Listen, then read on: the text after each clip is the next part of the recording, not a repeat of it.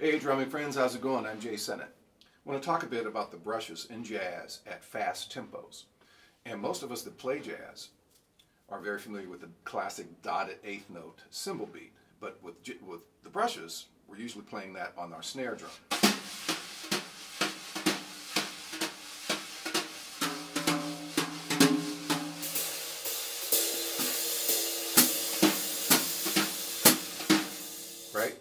Various tempos, mid-tempo, a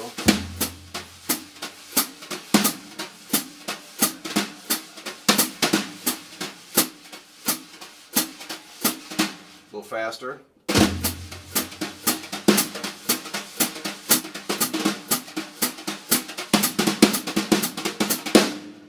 But in jazz, at some point, you're going to be asked to play really fast. And I'm talking about maybe over 300 BPMs with the brushes at times. And to play that dotted eighth note pattern at that tempo and being able to sustain it, you know, it puts a lot of stress on your fingers and wrists. You know, I mean, if you're looking at a faster tempo, right, trying to sustain that, at least for me, you know, I can't play it that fast and sustain it. So I sought out easier ways to play it technically in my execution, but have the same effect. Um, and I learned this way to do it, and it has, to verbalize it, it has a giddy up, giddy up, giddy up, giddy up, giddy up, giddy up kind of feel and sound to it. And the way it works is two beats with the right hand, and then one with the left hand, the third beat with the left hand.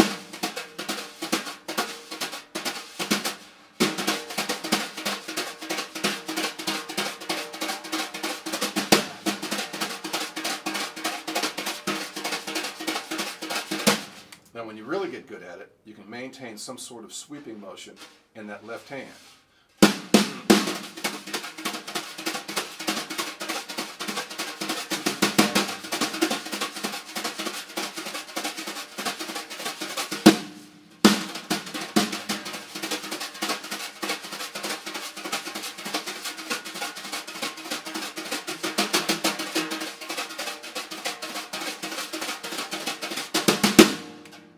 So much easier on your right hand.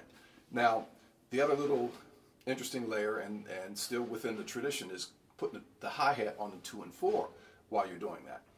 Um, and you want to make sure your alignment is cool and you maintain that two and four pulse and you don't turn the beat around. One, two.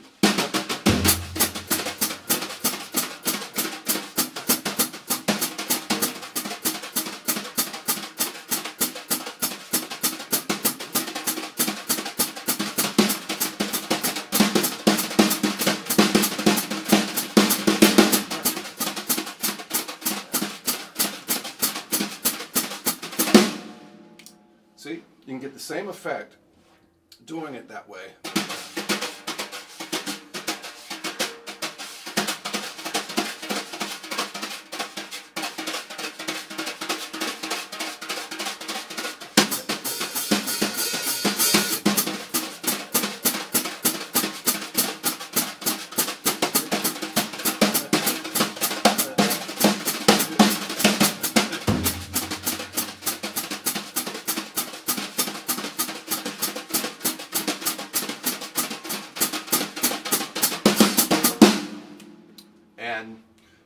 Takes away a lot of that stress off your, you know, your right lead hand, or if it's your left lead hand, uh, and you get the same effect. And you can, you know, if you practice it and become a little bit more creative with your left hand, you can still maintain some level of sweeping quality in that in that groove.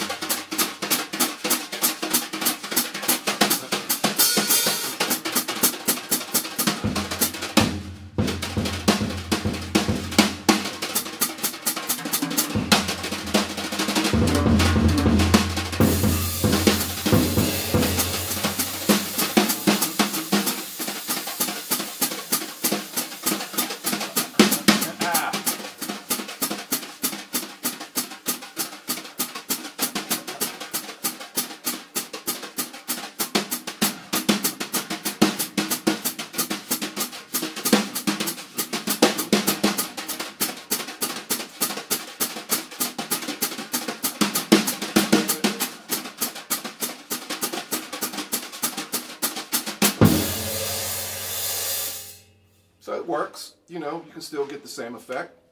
And I can do it all day that way, but trying to play it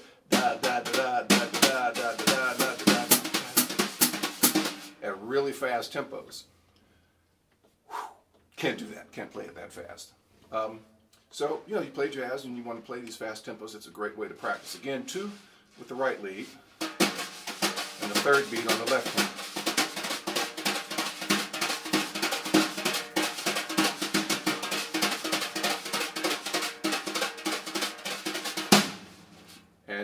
Practice it enough, you really get good. You can do all kind of little nice variations, sweeping motions, and get really, really good at it.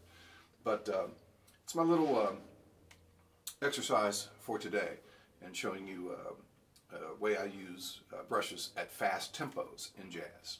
I'm Jae Sinnett. Thanks so much for watching.